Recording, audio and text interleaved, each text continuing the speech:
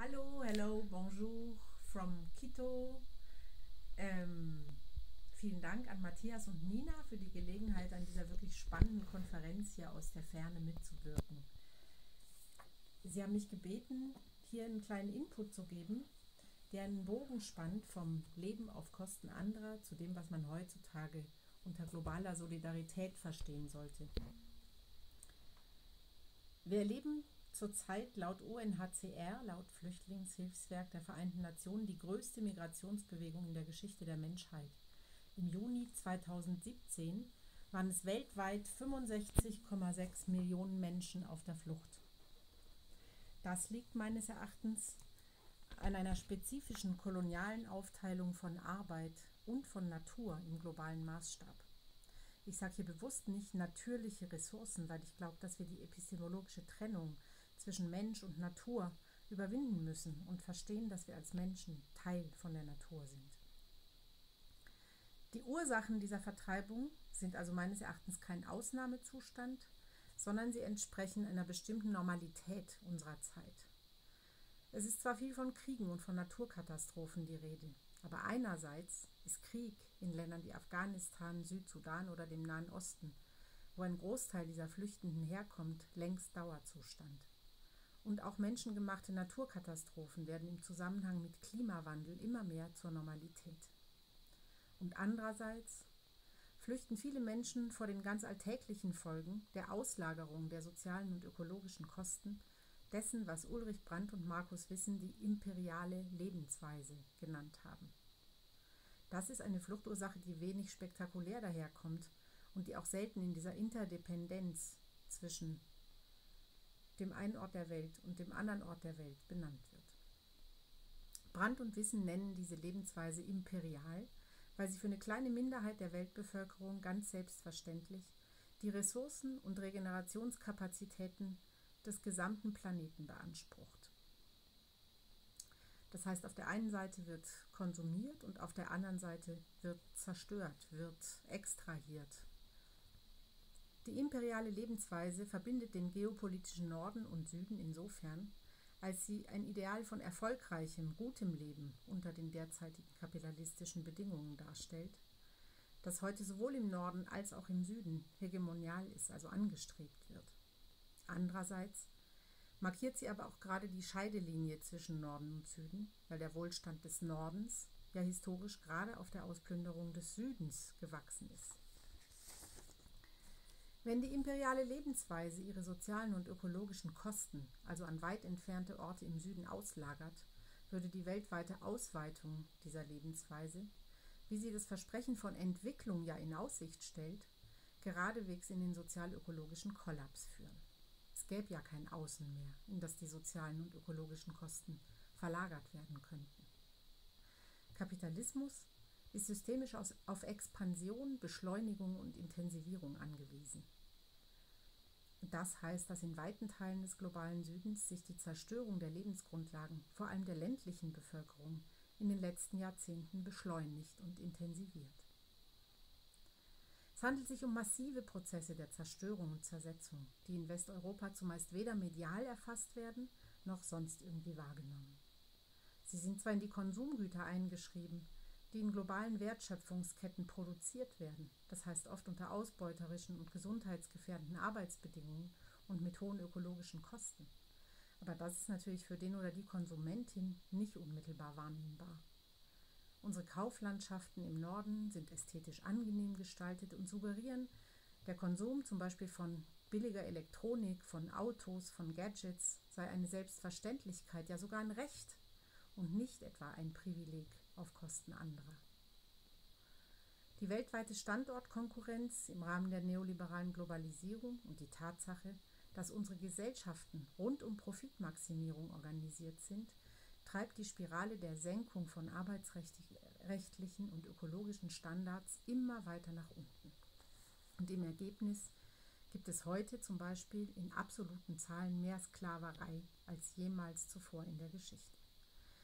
Ein Bericht gerade vom September von der Internationalen Arbeitsorganisation spricht von 40 Millionen, die unter sklavenähnlichen Bedingungen arbeiten, in der Mehrzahl Frauen und Kinder. Landgrabbing, Bergbau, Staudämme, industrielle Monokulturen für Zwecke der Börsenspekulation und für den Export, immer waghalsigere Technologien in der Förderung von fossilen Brennstoffen, systematische Überfischung und Verschmutzung der Meere, all das führt in weiten Teilen von Asien, Afrika und Lateinamerika zu einem Verlust der materiellen Lebensgrundlagen.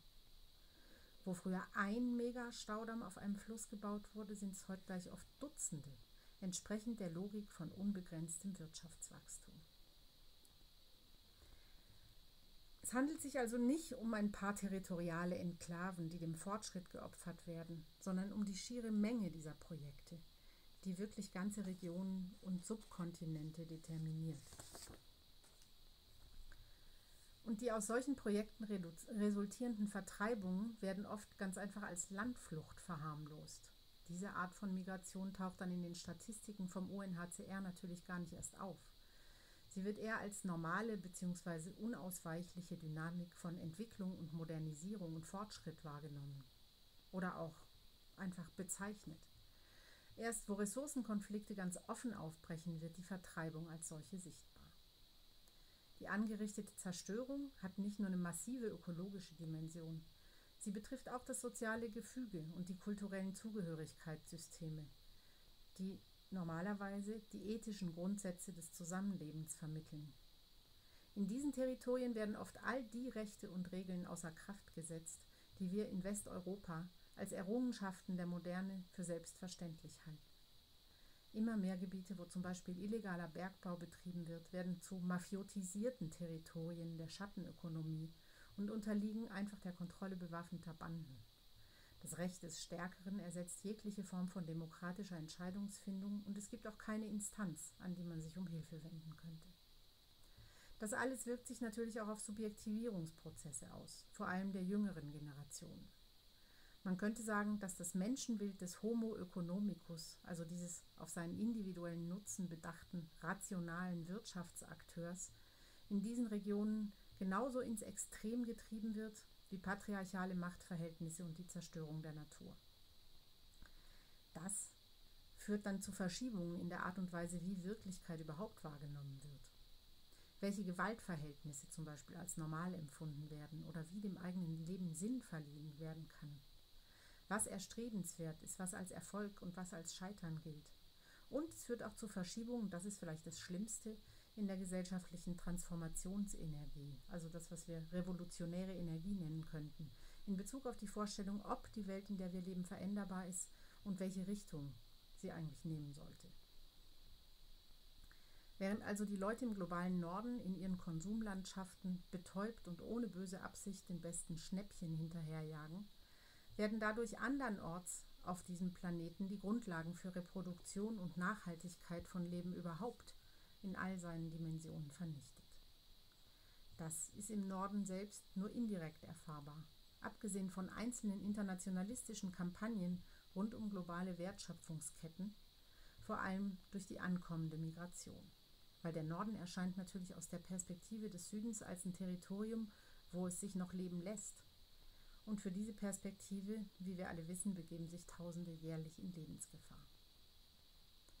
Die große Politik in Deutschland ist bemüht, Einwanderung einzudämmen und kontrollierbar zu machen. Die antirassistische Bewegung will der entsprechenden Kategorisierung in böse und gute Flüchtlinge, also einerseits politische Flüchtlinge und andererseits nur Wirtschaftsflüchtlinge, entgegenwirken und tritt grundsätzlich für das Recht auf Migration und Bewegungsfreiheit ein.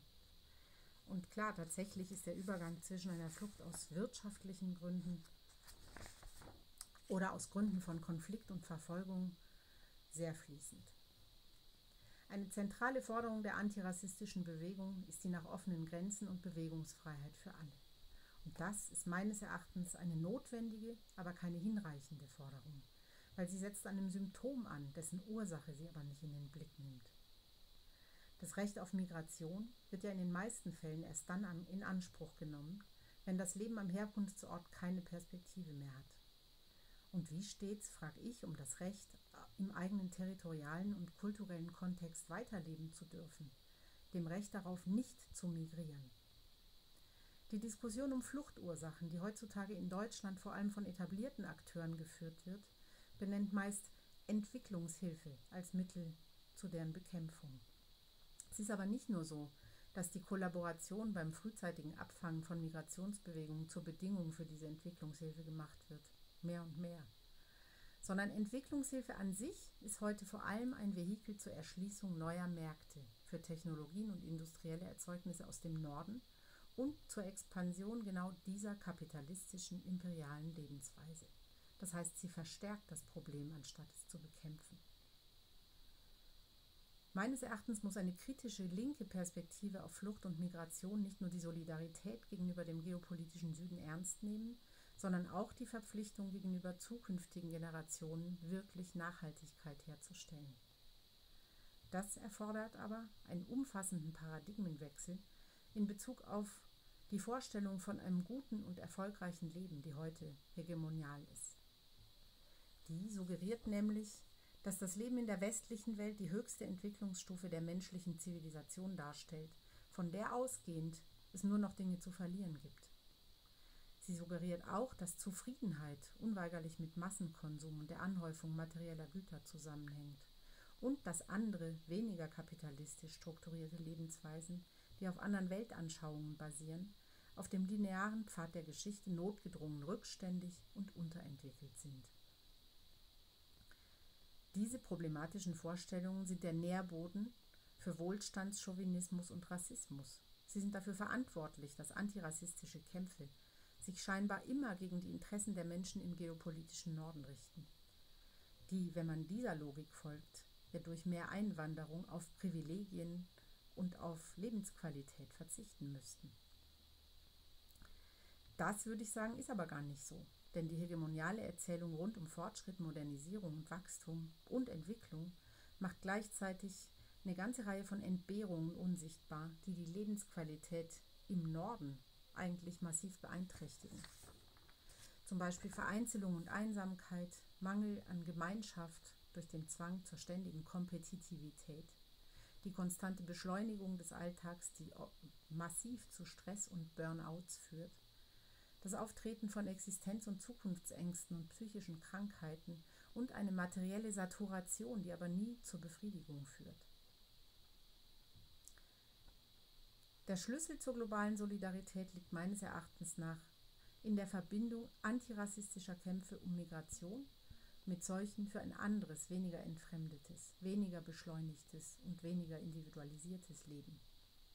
Kämpfe wie die Postwachstumsbewegung, oder die ökofeministische Bewegung entziehen Wohlstandschauvinismus und Abstiegsängsten im Norden insofern die Grundlage, als sie anzweifeln, dass das, was in Westeuropa standardmäßig existiert, wirklich ein gutes Leben ist. Solidarität mit dem Süden heißt heutzutage nicht, dem Süden materielle Hilfe zukommen zu lassen oder mit guten Intentionen dahin zu fahren, um zu helfen sondern Solidarität mit dem Süden sollte heißen, sich für eine Veränderung im Norden einzusetzen. Die Selbstverständlichkeit des Massenkonsums genauso in Frage zu stellen wie die neokolonialen Strukturen der globalisierten Weltwirtschaft. Darum zu kämpfen, dass transnationale Konzerne gezwungen werden, Menschenrechte und ethische Grundsätze über den Grundsatz der Rendite zu stellen.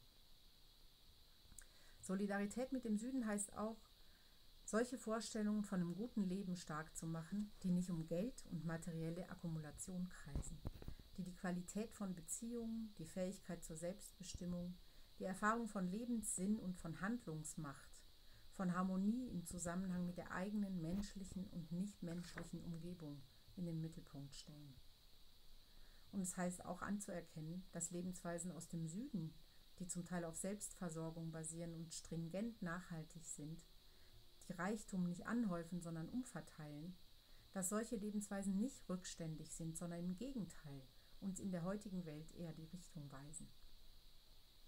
Bewegungen wie Degrowth oder auch die Bewegung rund um Commons, also rund um die Herstellung von immer mehr Räumen und Gemeinschaftsgütern, die sich der kapitalistischen Marktlogik entziehen, vermögen es an Kämpfen um Postextraktivismus und Postdevelopment im globalen Süden direkt anzuknüpfen. Sie eröffnen eine Perspektive, in der im Norden und im Süden gemeinsam an der Überwindung der Hegemonie der imperialen Lebensweise gearbeitet wird. Mit solchen Ansätzen wird Verantwortung für imperiale Alltagspraktiken übernommen und an den Fluchtursachen angesetzt, sowie auch an den Ursachen der globalen ökologischen Krise. Und nicht zuletzt eröffnen sie eben für die Menschen im Norden eine Perspektive auf Transformation, bei der sie nicht verlieren, sondern im Gegenteil an Lebensqualität dazugewinnen können. Wenn wir wollen, dass Transformation demokratisch vonstatten geht, brauchen wir ja notgedrungen Mehrheiten, die sich mit Appellen zum Verzicht nur schwer herstellen lassen. Aber vielleicht durch die emanzipatorische und befriedigende Erfahrung von Gemeinschaft. Vielen Dank.